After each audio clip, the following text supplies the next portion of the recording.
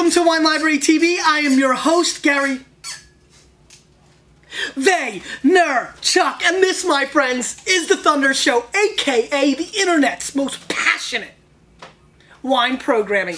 And today we're going to be rolling up on Cabernet Franc. And that's how we do. Cab Franc, a grape that absolutely positively is being dis disrespected in the wine industry and a, a, a, wine that a grape excuse me that deserves a lot more attention especially from the loire valley which we've got two wines today a bourgueil and a, a chinon. And then we've also got a very serious producer out of california very cult like a guy by the name of sean larkin who's actually a very good friend of mine. Let me throw that out there so it's no you know no uh what is it like church and state you know disclosure conflict of interest, conflict of interest. mott that is why we have you here how many bottles? You're only opening three bottles. It's like the 90th time you've opened something. Anyway, um, very excited about today's show because uh, I'm very passionate about Cabernet Franc uh, from the Loire Valley. Uh, I, we're talking about expanding the palate in this chapter 400 to 500 episodes um, and we want to really look at different wines from this area chinons and bourgueils usually roll in at 15 to 20 dollars so they're far from inexpensive but cabernet francs as a whole good riddance i'll talk to you later um, as a whole, um, bring a lot of thunder, in my opinion, and really are wines that are completely overlooked, undervalued, and huge opportunities, especially for people trying to expand their palate, expand their mind, try different things. Mott, let's let's link up the old Bourgueil show. Link it up, Mott. Um, that we did a little while back where you can focus a little bit more on Bourgueil. But right now we're going to start with one, a Yannick Amirault, uh, 2005 Bourgueil. Uh, this is from the single vineyard La Coudraye. Uh, 18 US dollars, 91 points, wine spectator. Uh, this comes from Peter Weygandt, who is one of the great importers in the US, bringing, bringing a lot of interesting stuff, interesting character. Um, but uh, definitely always bringing a lot of really cool wines. Um, I always like seeking out what he's doing. And uh, this wine from Bourgueil uh, is Cabernet Franc. And uh, let's see what's going on really dark, deep color. Um, what I find interesting about Bourgueil, it's you know small little area in Loire, um, limestone, uh, gravel, and uh, sand. You know soils. Uh, very small production area, only 2,900 acres planted uh, in the area. So a place that really is focused on making really great wines. And as a whole, I've been awfully impressed with the wines coming out of the area. Snippy sniff.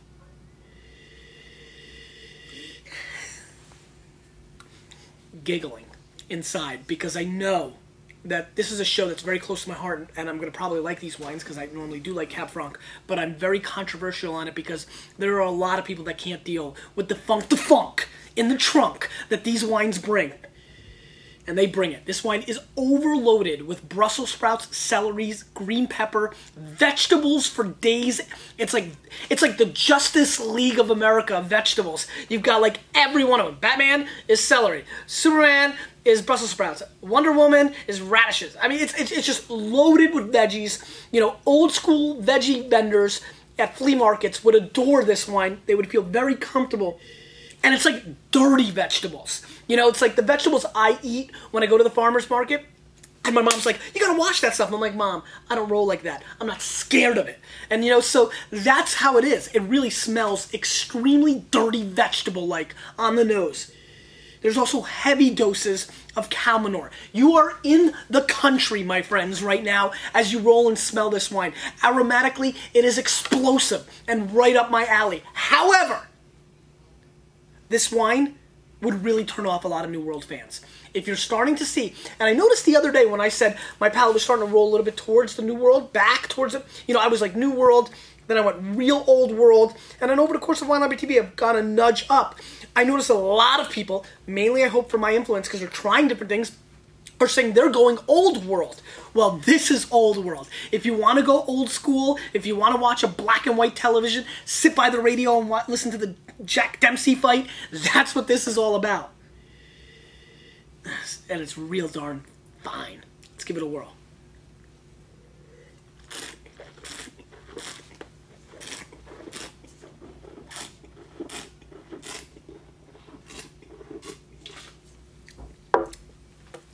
Ripping. Like a line drive from the steroid using Lenny Dykstra. You know, that was the real big one in Philly, not the skinny chap that we saw at the Mets. Very heavy on the palate, loaded with chocolate covered cherries mixed in with a brigade of vegetables. I mean, this is like celery leaves, tricolore salad, mesclun salad. I mean, just, oh my God. And the funkiness that on the finish. this is such a great food wine. You know, I could see this wine lasting for five to ten years, really mellowing out a little bit, probably adding a little silky layer to it, getting a little funkier along the way as well.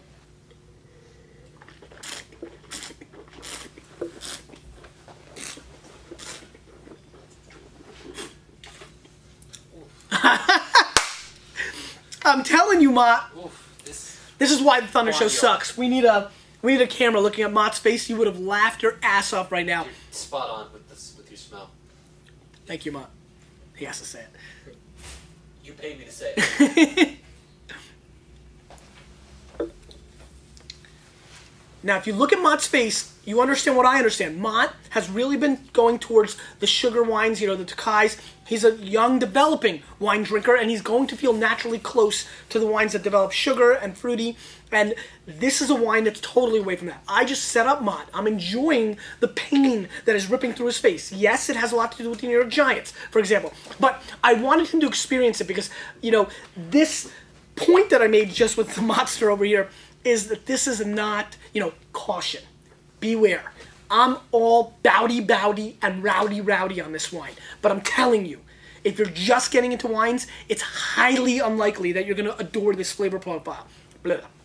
However, there's so many of you that are so wild and, and adventurous and, and scholarly. You know, I could just see a lot of you really enjoying this experience, though you you'd grind through it and be like, I don't know what he's talking about. One day you will. I'm like your grandpappy, Anderson. One day, chap, you'll understand. And I'm telling you, one day, this style will really appeal to you because as your pal develops and you continue to trust it and you let it try different things, it's going to change. Are you the same person you were 10 years ago? No way in heck. And that's how, what happens with your palate. I'm about this wine. It's loaded with cherries. I love that. It is loaded with celeries and just, you know, beets and tomato. It's so vegetable and it's very barnyard and funky.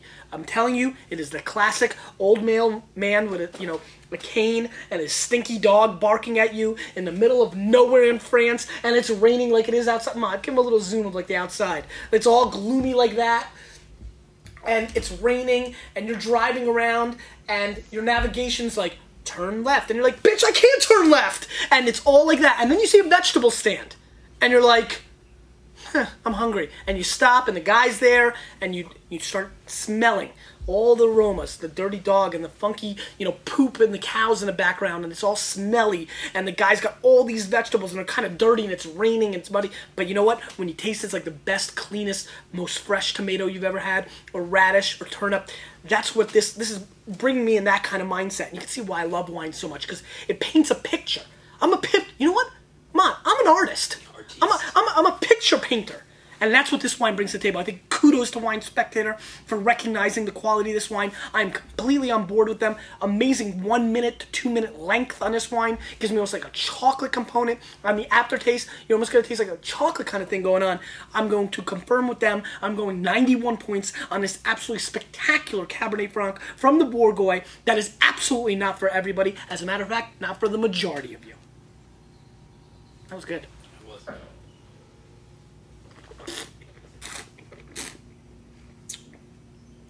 Ripping good. Ripping good. Funky as heck, though.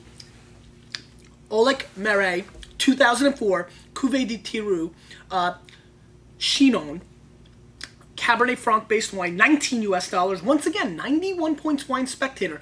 And kudos to the spectator to really starting to recognize this part of the world. They've been doing a lot more reviews. We'll see if we agree like we did on the last one, which we did exactly. Uh, Chinon, a little bit of a bigger area. Um, planted 95% Cabernet Franc. There's some Cabernet planted in Chinon. This wine's also, you know, get $19, 91 points, 5,000 acres in Chinon uh, planted. So, you know, again, small areas producing very interesting wines. I just burped. That's kind of funny. Anyway, great little color. See my little football? It's cool, right? I didn't steal from your desk this time either. No, I think I took it from somewhere else. Brandon's, I think. Sniffy sniff. Man, I'm telling you guys, I can do shows about Loire Valley red wines for the rest of my life. Maybe, you know what?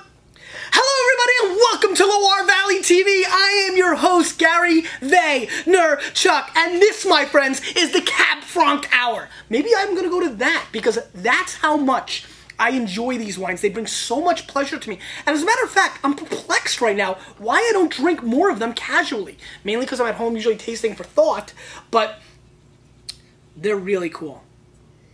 Smell this, man. I mean, again, just very interesting. This smells like mama's tomato sauce. Like you made the sauce, again, vegetables, but there's almost like a, a, grounded meat kind of component going on on the nose. I mean, it's so, so different. Lots of tomatoes coming through on this nose. Uh, again, celery roots. What did you get, Ma? Vegetable? I didn't get the tomato. I smelled the celery. Almost like a celery seed.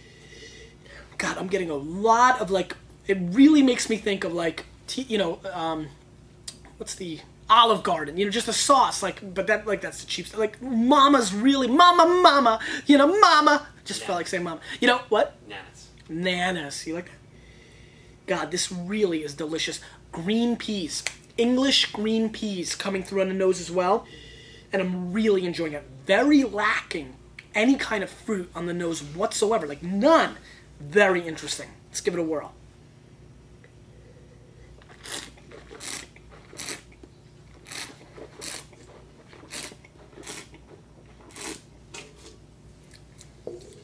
ripping. I mean, just like Donnie Baseball in '85, like like those singles right up, you know, like just right up the middle every time. You know he was going to get a hit. That's how some of these top producers. And again, Neal Rosenthal is the importer on this one. Again, you know when you've got great importers and you've got a great area, guys. These wines are 18 and 19 dollars. Now they're very distinct, but they are absolutely grossly underpriced in comparison to the rest of the wines in the world. But it comes down to people not really drinking this style, not a lot of demand. I get it. Let's take advantage of it. This is a really wonderful bottle of wine. This is a little bit more New World on the initial attack. There's like a black licorice candied strawberry component with a lot of weight when you first attack this wine, and I think that really appeals a lot more to the New World fan. So I'm going to tell you right now, this is definitely a wine that I can see a lot more New World fans getting on board, but don't get it twisted. This is an extremely old world, greenish, you know, like leaves kind of component.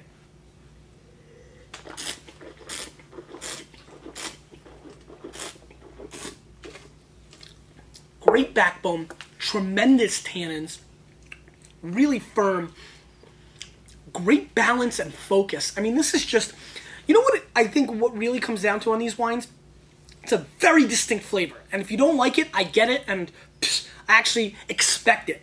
But the way these wines are made, both producers so far have shown amazing complexities, uh, great transition moves from the beginning to the mid palate, and an extraordinary ability to accentuate the flavors on the length and the finish. Just gorgeous longevity on these wines.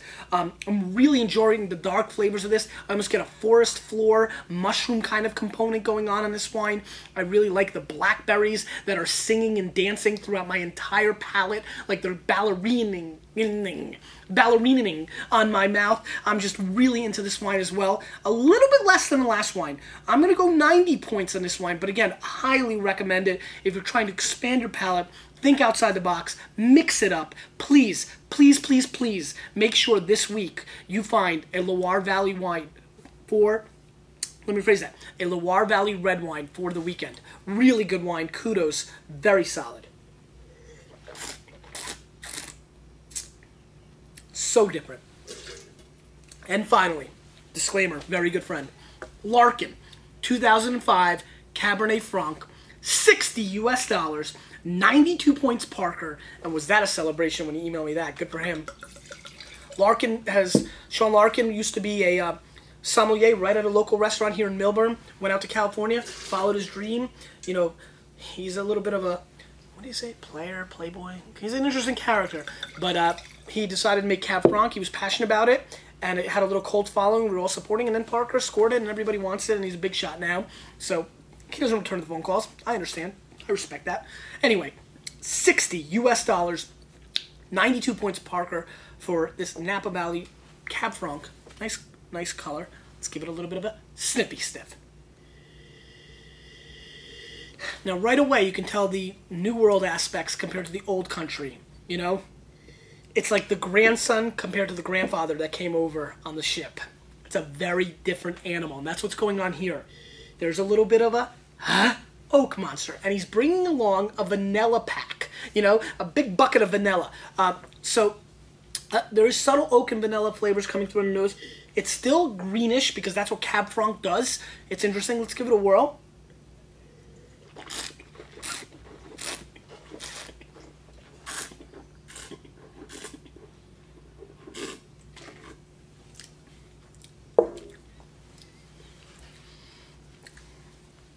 Solid tannins, good structure backbone, um, nice creaminess, great weight, very new world, a bomb of a wine, lots of oak.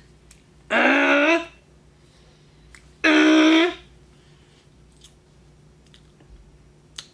not for me. And I really think it's a poor QPR. And it's really standing out in comparison to these two wines. And if you had this with 40 $50 Cabernets from Napa Valley, you'd be like, oh, that's an interesting Cab Franc. It's different, it's good. I just don't see how anybody in their right mind would not buy a three pack of mixed of these over one bottle of this. I find this to be somewhat masked by the oak. The vanilla is over the top. Sean, I'm listen. I'll call you later. It's just a, oh, I had to jump in there. Um, it's just a wine that I'm not feeling. I, I just think it's overdone. I think it's makeup city and even though you're a pretty girl, it's like, take that off. Mistake. I find it very one dimensional. It doesn't give you the second and third tier layers or length that the last two wines did.